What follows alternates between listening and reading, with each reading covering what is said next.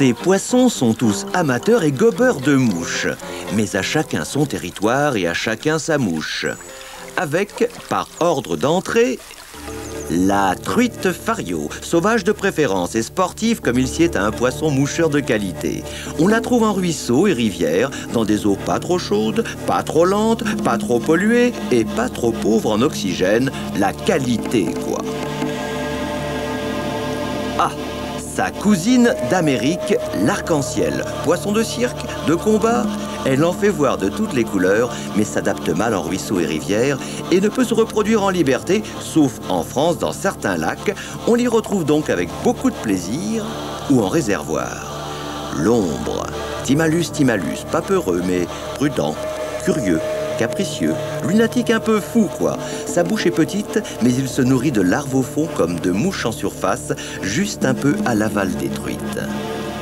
Le saumon, ah, le saumon.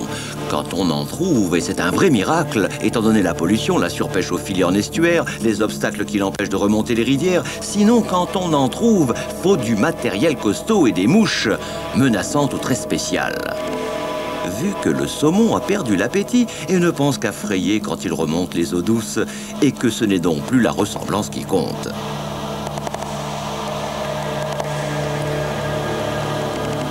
L'omble chevalier, proche parent de la truite, qui pour faire simple s'appelle aussi saumon des fontaines. Ça c'est madame. Voilà, et voilà monsieur, aussi agressif l'un que l'autre.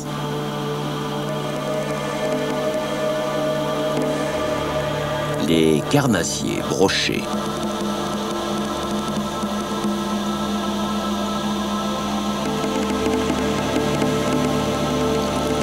Black bass, surtout en plan d'eau aménagé. Pour le premier, ça se passe comme ça.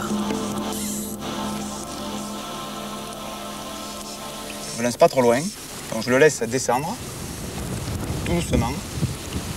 Et après, j'anime. Par petites saccades. Le brochet est un, poisson assez feignant, entre guillemets. Si, le streamer va, trop vite, il ne va pas le chasser. Ouais, ouais, ouais, ouais, ouais. ouais. Joli. Joli. Il est le second.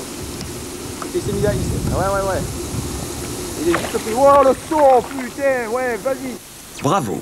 Et pour le Black Bass, Ashigan, le combattant, ça se passe comme ça.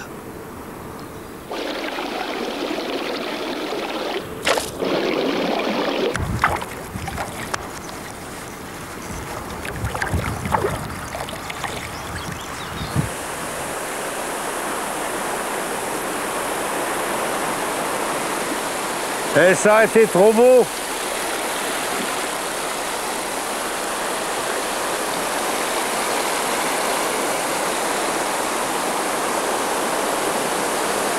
Chevesne,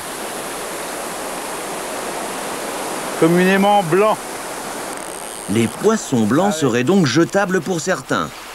Mais ce sont tout de même de bons poissons d'entraînement. Eh, on sait jamais si un jour truites, ombres et saumons disparaissaient. Depuis quelques années, la pêche à la mouche s'élargit à d'autres horizons. Il faut savoir quand même que l'on dit toujours pêche à la mouche, mais que la pêche à la mouche ne concerne pas que les insectes et que les poissons gobeurs.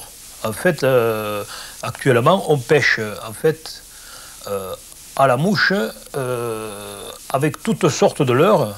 Et en particulier, deviennent de plus en plus réelles une pratique dont certaines ne soupçonnent même pas l'existence, c'est la pêche à la mouche en mer. Alors évidemment, on ne pêche pas en mer avec des mouches, on pêche en mer avec des imitations de poissonnets ou de céphalopodes qu'on appelle euh, dans le, jargon euh, streamer, éventuellement, mais bon. Euh, et ça, c'est quelque chose qui, à mon avis, est en train de prendre une dimension insoupçonnée.